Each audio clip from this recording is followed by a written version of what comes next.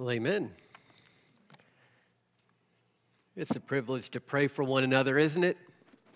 And, um, you know, we uh, used to just have one of us pastors lead in prayer, and we started breaking up and having the instruments play uh, towards the end of prayer time because there's a reason why we pray and then we have the message, is because when we used to reverse it, unfortunately, people would leave as soon as the message is over. So, uh, the way to get you to stay through prayer time is to have prayer time first. Uh, but, uh, and so uh, we would just lead in prayer. And um, dear saint of the Lord who's in glory now, Connie Walkowitz, said, You know, we did that at our church, but we would have them play to let us know when to stop praying for the message. And so we started doing this where we pray together again, and that has been such a blessing to my soul. I hope that it's been a blessing to you to pair up with somebody and to pray with them. Well, if you have your Bibles, take them to Proverbs. We'll be uh, mostly in the book of Proverbs tonight.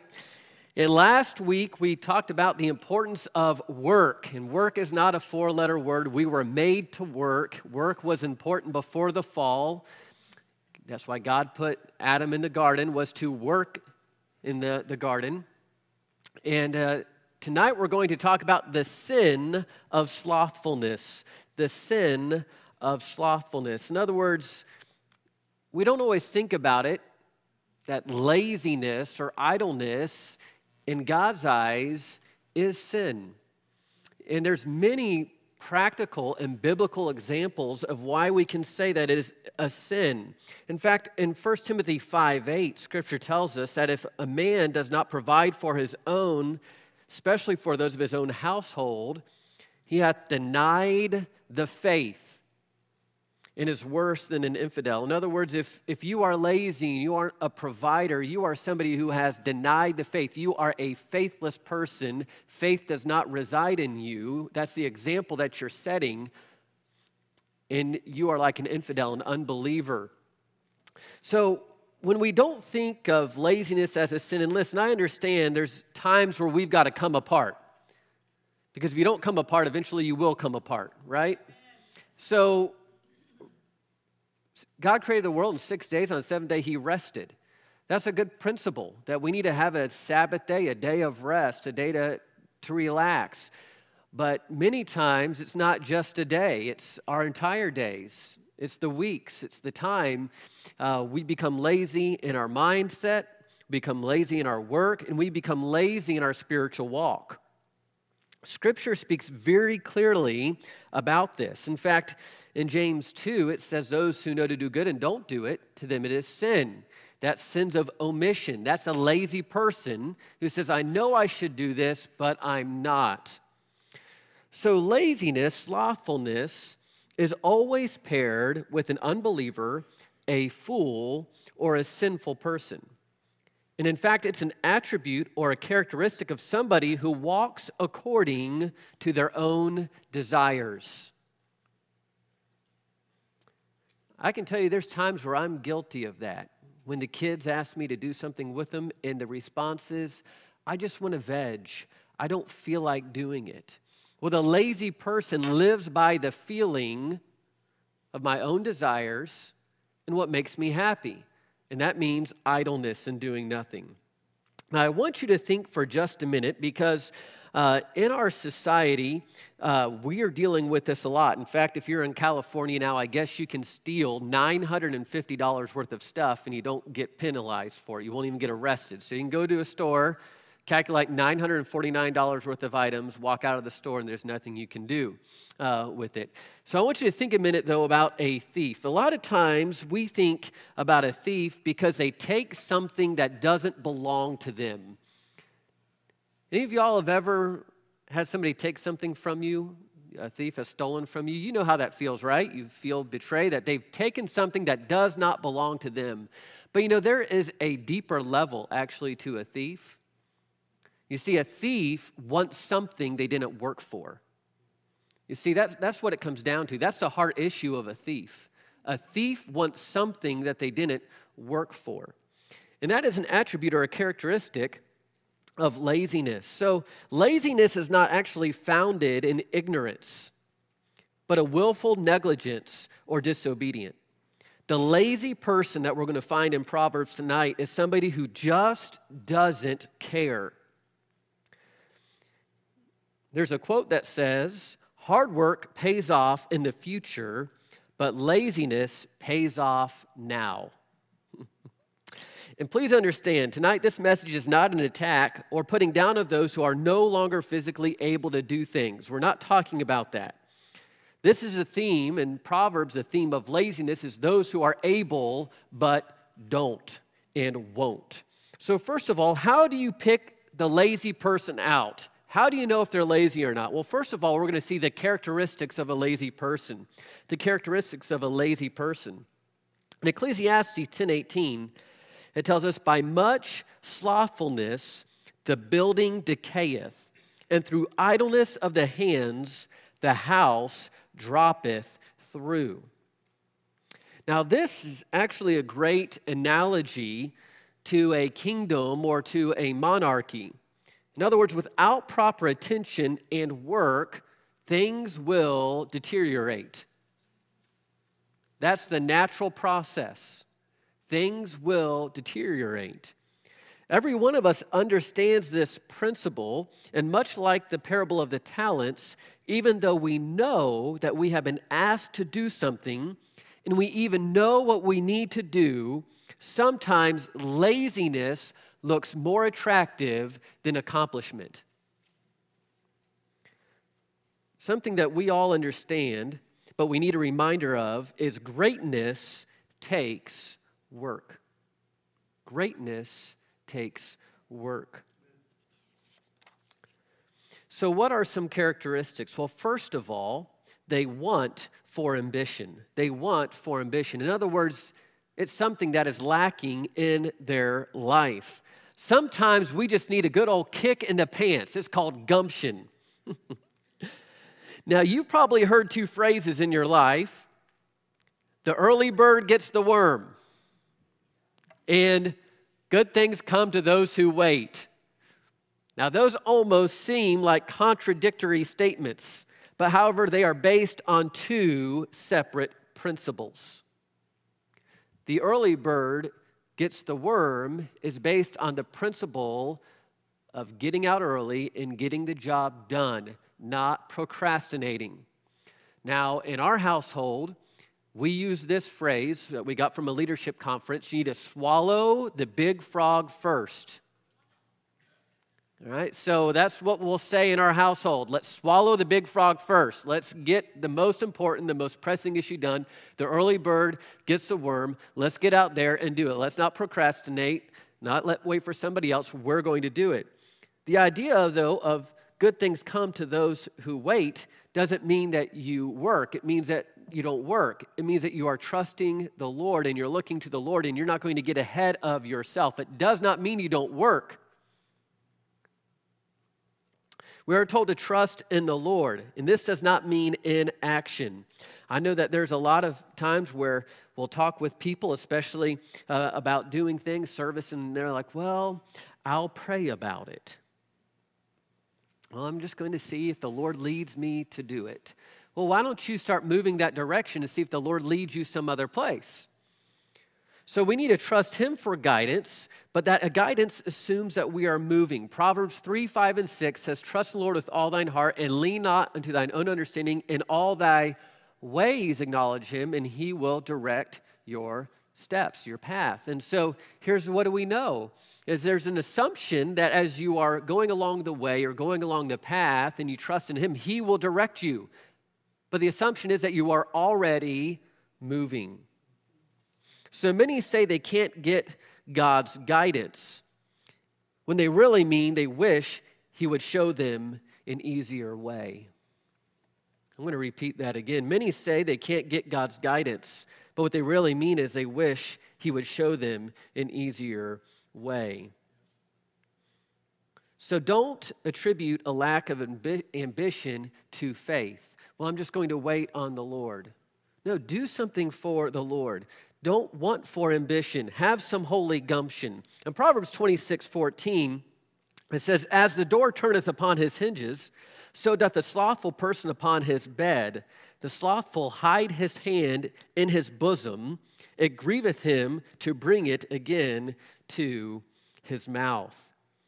And just like a door on the hinges, just toss and turn. Hey, that bed looks really good right now. I'm not getting out of bed for anything. And then this is how much laziness affects your life. This person is actually sitting at a table, and instead of looking at his hand with a knife, a spoon, or a fork in it, you know what he does? He hides it. And then says, It's too much work to even eat, even though I'm hungry. Even hunger does not motivate a lazy person at times. In fact, there are two powerful words in this verse that you might want to underline. First of all, where it says hideth, where it says hideth his hand. That Hebrew word means to conceal or bury. Have you ever heard the phrase out of sight, out of mind? In other words, if I don't see the work, I won't have to do the work. So this man sitting at the table and he realizes, man, it's going to actually just take work to feed myself. I'd rather not even look at my hand than have to imagine about doing work. The principle there is as many times if we just hide it, we just shove it all over, we just throw the bedspread over everything, we don't have to worry about the work. We don't have any ambition. And then the second word, though, is it says this it grieveth him to bring it again to his mouth. That word grieveth there means to be weary or loathe. We understand that loathe word because all of us have asked our children to clean their rooms, and how do they respond? Oh.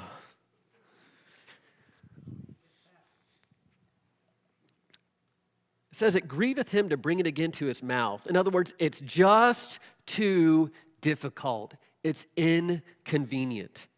In Proverbs 19:24 it says, A slothful man hideth his hand in his bosom, same principle, and will not so much as bring it to his mouth again. Twice, it's saying this person would rather hide work than have to look at work as a reminder of what he needs to do.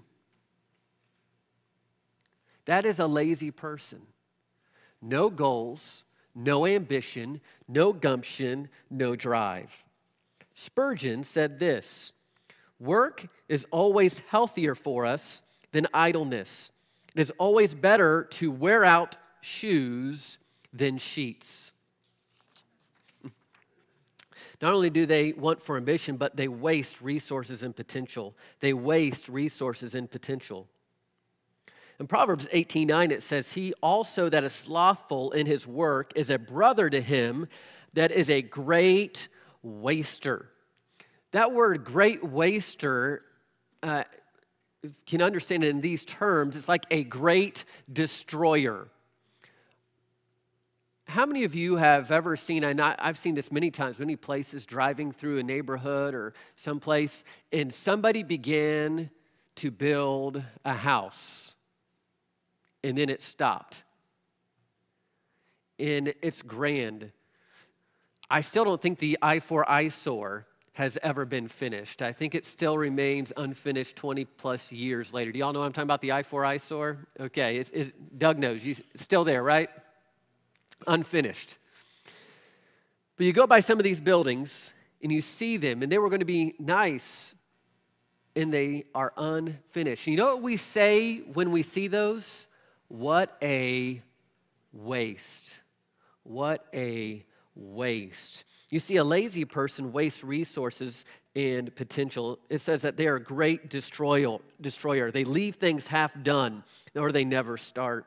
Proverbs 12, 27 says, The slothful man roasteth not that which he took in hunting, but the substance of a diligent man is precious. So we just got to stop right there because I know we've got some hunters and fishers in the room tonight. There is nothing more exciting when, when you're fishing, especially if you're doing some saltwater fishing, and you just got that rod is just bent over. And the great thing about saltwater fishing is you never know what's on the other end of that line. Have no idea. and you're just reeling. And you, sometimes you have an idea by the way that they fight. Oh, this is going to be good. And you get to the boat, and the thrill of catching that fish, whatever it is, you know, if it's a slot snook or something like that, just the thrill is just so great. And you get your picture, and you're like, yeah, I'm going to keep that fish. Can't wait to eat that thing. But then you get done with your fishing day, and then the fish is with its dead eyeballs from being ice is looking at you. You're looking at the fish. It's like, you know, it was really fun to catch, but I really don't want to clean that thing. It's fun to catch. Oh, shooting the deer is fun. But then you got to do what? You got to gut it and strip it. And that's not so, so much fun, is it? It's kind of dirty, nasty, smelly work. So the slothful man does not take advantage of his opportunities. He enjoys the hunt, but begrudges the work. The hardworking, though, what do they get to do? They get to enjoy the fruits of their labors. See, it says the diligent man is precious. In other words, the diligent man who field dresses that deer or who gets that fish and guts it and cleans that fish up and comes home, what does he get to do? He gets to enjoy that fish. He gets to enjoy that deer. He gets to enjoy the spoils. But it took work to get it from the field or from the water to the plate. The lazy man, he's only in it for the thrill, he's not in it for the work. And that is a waste of resources and potential. Proverbs 24 30 say this I went by the field of the slothful and by the vineyard of a man void of understanding. And lo, it was all grown over with thorns, and nettles had covered the face thereof, and the stone wall thereof was broken down. He's observing laziness. Then I saw and considered it well. I looked upon it and received instruction. The lazy man didn't teach him something. The product of laziness taught him something. That's what people see what your life produces. The lazy man, walls broken down, thorns and nettles. And notice what it says. What did he what instruction did this person receive? Yet a little sleep, a little slumber, a little folding of the hands to sleep, so shall thy poverty come as one that travaileth, and thy want as an armed man. He received instruction by looking at the product of laziness. If that's what laziness produces, I don't want anything of it. Now, that word uh, travaileth there in verse number 34 so shall thy poverty come as one that travaileth. That's a prowler or a bandit. So that lazy person thinks, hey, everything is going great, no problem at all in life. You know, I'm getting by, I'm skating by, I'm not having to do my work, but who cares? And it says, just like a bandit or a prowler pounces on you that's what's going to happen with your life. One day, the chickens are going to come home to roost. That's what's going to happen. Also, it says, in thy want as an armed man. In other words, scarcity will attack you like an armed robber. So we need to learn from the person who is lazy, but we don't want to imitate them. And here's something that we do understand, though, is that laziness is not always the cause of poverty. Don't assume somebody who is in poverty is lazy. However, laziness is the for sure way to get there. Amen? Also, they whitewash inaction with excuses. They whitewash inaction with excuses. one of Coach O'Hara's, which was my high school football coach, one of his favorite things to say to us the worst day for football practice was always on a Saturday after we lost when coach would call us in. We're going to look at the film. And he would stay up all night looking and watching the film. And then you'd have to watch film in front of all the other players. And you know, they'd be there with remote in slow motion. Mulford, how'd you miss that block? Well, uh, uh, uh, you know, and this is what he'd say to everybody Don't give me excuses, give me results. And that's what he said all the time. Don't give me excuses, give me results. You see, the lazy person, they whitewash their inaction with excuses. Proverbs 20, verse 4 says, The sluggard will not plow by reason of the cold, therefore shall he beg and harvest and have nothing. In other words, the lazy person says, It's not convenient. It's cold outside. It's going to be work. I really don't like to go out during this time of the day, this time of the year. Here's two things to understand about that proverb He did not plow by reason of the cold. Well, first of all, because he just experienced the previous harvest. You see, the lazy person does not foresee the need of the future. He just experienced the harvest. Maybe he got a few crops, so he says, you know what? I'm not going to plow for next year's harvest because I have enough right now. So the lazy person does what? They don't plan for the future.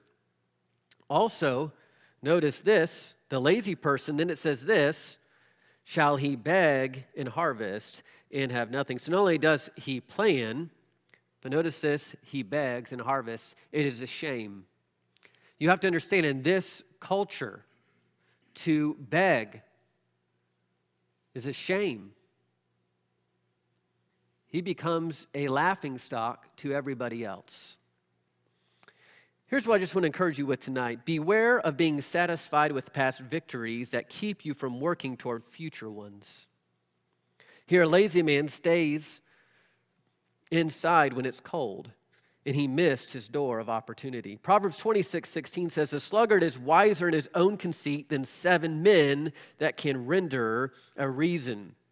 In other words, a lazy person thinks that their shortcut, their easy way, their easy course of action is better than seven experienced people. And that word render a reason means to examine by tasting or life experience. So that lazy person, they disregard the experience of seven. What's the what's the word picture of seven? Perfection, right? Seven people who've done it. They've tasted, they've experienced it, and they say their way is better. Proverbs 26, 13 says, A thoughtful man saith, There's a lion in the way, a lion is in the streets. The sluggard then uses absurd excuses to get out of work. Have you ever ex- experienced that in your life with your coworkers? They use the most absurd excuses to get out of work. Perhaps in this situation, the sluggard has even convinced himself that he's a realist and not actually a lazy person. You know, it could happen. There could be a lion in. Is there one out? No, but it could happen. You see, they've convinced themselves that their laziness is actually practical. Proverbs 22 13 echoes that same thing. The slothful man saith, There's a lion without, I shall be slain in the streets. In other words, you can always find an excuse if you don't want to do something. And, and here, the Proverbs, they give us uh, hyperbole. I don't want to go out because I might get eaten. However, one excuse is just as good as another. You see, they whitewash their inaction with excuses, but also they weary others through irritation. They weary others through irritation. Have you ever heard of Chinese water torture? Just a simple drop on the forehead that would continue and continue and continue and continue, and it would drive prisoners crazy. You see, that is like a lazy person. They weary others through irritation. Proverbs 10:26 says, "As vinegar to the teeth and as smoke to the eyes, so is the sluggard to them that send him." Now there's two similes used to portray the aggravation in sending a lazy person on a mission. First of all, vinegar to the teeth. That is an unpleasant and irritating experience. Now, uh, if you, any of y'all have ever had gallbladder attacks, my wife dealt with that for a while, and she would drink apple cider vinegar to try to help with the gallbladder attacks. Any of you ladies ever done that before? All right, none. All right, some of you guys are like, yes, all right, thank you. And I would feel so bad because she would almost just, oh, just to drink that vinegar. She understands when you say as vinegar to the teeth. The person you ask to do a job and you come back and they don't do it, it's like vinegar to your teeth. And then it says this smoke to the eyes. Not only does smoke to the eyes actually physically burn, but it hinders your ability to make progress. So you work with a lazy person, and it will affect your output. You see, they weary others through irritation. So, what are the consequences, too? The consequences of laziness. What does Proverbs tell us that laziness will lead to? Point number two consequences of laziness. It tells us in Proverbs 10 4 he becometh poor that dealeth with a slack hand, but the hand of the diligent maketh rich. He that gathereth in summer is a wise son, but he that sleepeth in harvest is a son that causeth shame. Here, that word dealeth with a slack hand. In the Hebrew, it really literally means a palm of slackness. And the hand is emphasized when it comes to laziness because it is the instrument of physical labor. In fact, it even contrasts in these verses the difference between the slack hand or the palm of slackness and the diligent hand. Have you ever heard the phrase, they're asleep at the wheel or asleep on the job? You see, that's what this verse is conveying here. They have a slack hand. They sleep in the harvest. They're asleep. Their hands don't know how to actually do work. So, what are the consequences? A, they will not achieve their desires. They will not achieve their desires. In Proverbs 13 4, it says, The soul of the sluggard desireth and hath nothing, but the soul of the diligent shall be made fat. this verse tells us, and this is true, a lazy person does have an appetite for things, but they don't have an appetite for work.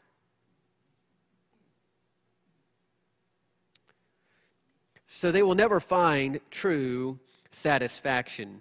Maybe you want to think of it this way they have dreams, but they don't have desires. They have a want, but they don't have a will. The diligent person, though, it says that they will not just be satisfied and find satisfaction, they will be abundantly satisfied. They will be made fat. In other words, they just won't have their needs met, they will have excess. Proverbs 21 25 says, The desire of the slothful killeth him, for his hands refuse to labor. Much like how it talks about if, if you're a coveter and you can pierce yourself through the love of money is root of all evil, uh, you, those who've coveted after, they've pierced themselves through with many sorrows. The lazy person who refused to work, it says that he is killing himself. He coveteth greedily all the day long, but the righteous giveth and spareth not. They don't achieve their desires. And because they can't ever achieve their desires, you know what else is a, it tells us is a characteristic of them? They can't be generous to other people. You see, the lazy person never has the opportunity to be generous because they're not blessed in their work with abundance. The lazy man wants it all for himself. He's a coveter. However, it tells us the righteous giveth and spareth not. The diligent man, the hard worker, he's benevolent. He has the resources, because he's worked hard to be a blessing to other people. Not only does he meet his desires, but the diligent worker, what does he get to do? Help meet other people's needs and desires. But also, they will live in destitution. They will live in destitution. Proverbs 19:15 says, "The slothfulness casteth into a deep sleep, and an idle soul shall suffer hunger." Laziness brings on sleep, and a sleeping soul then suffers hunger. Notice the progression. You know, I'm not going to work today. I'm going to call in sick. I need to go to the grocery store. But I don't have any money. It's called the snowball effect. Proverbs 10, uh, 20, 13 says this Love not sleep, lest thou come to poverty. Open thine eyes, and thou shalt be satisfied with bread. When we think about this verse, there's a, just something that really just came to me in this is that we need to look for opportunities not look at the obstacles. When it comes to work, we need to look for the opportunities, not the obstacles. The lazy person, they say, uh, you know what? There's just too many problems. There's just too much. I can't do it. The diligent person, they look, they open up their eyes. What work needs to be done? And notices, and thou shalt be satisfied with bread. A for sure way to live in poverty is to be lazy and refuse to work. You will live in destitution if you choose to be lazy, but also they will experience difficulty. They will experience difficulty. Proverbs 15 19 says this The way of the slothful man is as a hedge of thorns, but the way of the righteous is made plain. I got to tell you, this verse was very convicting for me because every single one of us will probably have a similar experience as I'm about to share with you. How many of you, without a raise of hands, will let the guilty go unnoticed and unpunished right now, have a project that you keep looking at? Perhaps maybe it's tack strip in the carpet of your home that is exposed and you walk past the tack strip and you say, Oh, oh, tack strip gets me every time. Ah, step over it. And you do that for two years. Take care of the tack strip, right? See, this person, the way of the slothful man is as a hedge of thorns. Listen, you don't have to keep getting pricked by the thorns. Take the thorns out and enjoy the hedge. He can make life a whole lot better for himself and others if he would just tend to the priorities. Instead, he leaves the thorns and he's constantly getting pricked. What am I telling you is get the priorities done. When you have the opportunity to do it, do it then. Otherwise, you will experience difficulty. Don't let it keep bugging you. Just like those thorns, they will be a hindrance, they will be difficult. Take care of the difficulty. Also, they will remain in dependency, in, de, in dependency. D, they will remain in dependency. Proverbs 12, 24 says, The hand of the diligent shall bear rule, but the slothful shall be under tribute. You see, the hard worker is able to have charge or rule over their own work. And all of us who've been in jobs or maybe uh, you've been in a construction job or you've been in a job where they have foremen and managers, and you work hard, you know what the boss says? Hey, yeah, you can do whatever you want to do. Oh, you get to work on the garbage today. Why? Because they know they can trust a hard worker to get the job done. And what do they give to the poor worker? The worst job. You know the person who works hard on the job and does the task that they've been assigned to do? They're invaluable to the company. They can go to the boss and say, I need a raise or I'm leaving. And the boss says, You got a raise.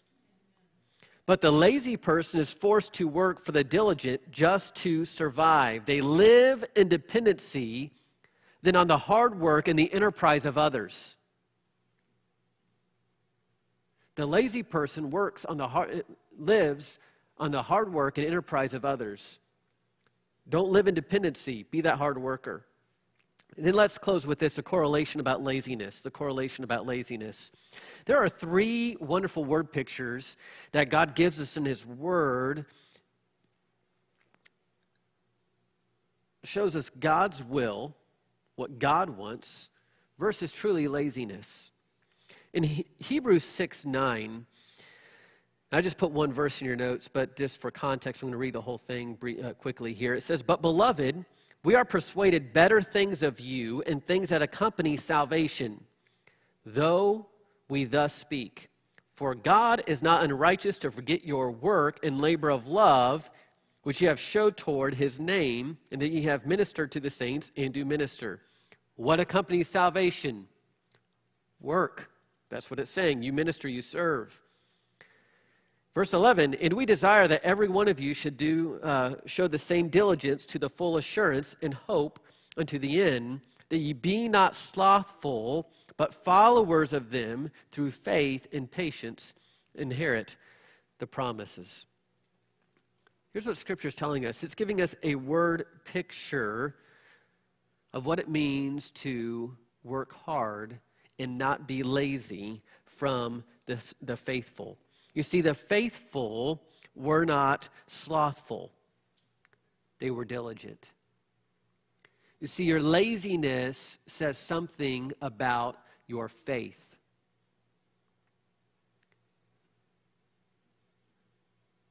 Lazy people are a poor testimony. So, the first word picture that we're given about laziness is that if you are a follower of Jesus, it tells us this that something ought to accompany your salvation. And what is that? Working in service. Of course, obviously, in service to the Lord. The practical aspect of it is, is that if, if you're surely not working in your own life, you're surely not going to work for the Lord. And then in Luke 16, we're given another picture. And this word picture is from the unfaithful, actually is from what we would consider Luke 16, this parable of this unfaithful steward, is such a good example of bad behavior. I hate to put it that way, but it's really a good example of bad behavior here's what it tells us in Luke 16, and many of you probably know this parable. And he said unto his disciples, There was a certain rich man which had a steward, the same was accused of him that he had wasted his goods. He was lazy. He was a steward who was supposed to be managing his master's resources, and he wasted his, he was that person that, that was a destroyer, as we talked about earlier in the message, of his master's goods. This, and when he had called him, came time to give an account. I'm seeing laziness. I'm seeing things that aren't going well. When he called him, he said to him, How is it that I hear this of thee? Give an account of thy stewardship, for thou mayest be no longer a steward. He says, All right, I want you to go get the books, give an account, because you're about to be fired. I'm putting you on notice. Then the steward said within himself, What shall I do? For my Lord taketh away from me the stewardship which he was undeserving of, correct? I cannot dig. Too bad I'd be ashamed. Remember, this is a shaming culture, right? I am resolved what to do, that when I am put out of the stewardship, they may receive me into their houses. So he called unto every one his Lord's debtors unto him, and said unto the first, How much owest thou my Lord? And he said, An hundred measures of oil. He said unto him, Take thy bill, which uh, that's around uh, about, I think, 350 acres of olive trees, what they would produce in a year. That's a lot of oil. He said to him, Take that bill, sit down right quickly, and write 50. Hey, guess what? You get 50% discount right now, pay the bill. Then he said unto another, How much owest thou? He said unto him, A hundred measures of wheat. He said unto him, Take thy bill and write four score. Give me eighty. So here's what that unjust person does. He was lazy, didn't manage, didn't take care of things, didn't uh, go collect bills, did not do what his master said to do. And his master said, All right, you're about to lose your job. Give me an account. Well, he had to think for a minute. What am I going to do? Well, since this is an honor and shame society, I'm going to go do somebody a favor, so they're going to owe me a favor. If he fires me, the guy that I just gave a 50% discount to, you're going to give me a job, or else I'm going to say you don't know how to pay your debts either. You guys are probably saying, Pastor said, this is a terrible. Jesus is giving a parable about this because guess what happens? It tells us this. And the Lord commended the unjust steward because he had done wisely for the children of this world are in their generation wiser than the children of the light. So he's saying, how does this guy get commended for that kind of behavior? Here is the principle. We don't have time to go all the way through it tonight uh, in this passage of scripture. But the principle is, is even the ungodly, unfaithful, unjust know the importance of securing their future even as lazy as this guy was, he said, I've got to secure a future. In Scripture, you get there through working. Then notice what it tells us He that is faithful in that which is least is faithful in that which is much. And he that is unjust in the least is also unjust also in much. If you therefore have not been faithful in the unrighteous mammon, who will commit to your trust the true riches. If ye have not been faithful in that which is another man's, who shall give you that which is your own? No servant can serve two masters. You'll hate one or love the other. You can't serve God and mammon. Here is what Jesus was getting at. We need to make sure we are working hard to secure an eternal future.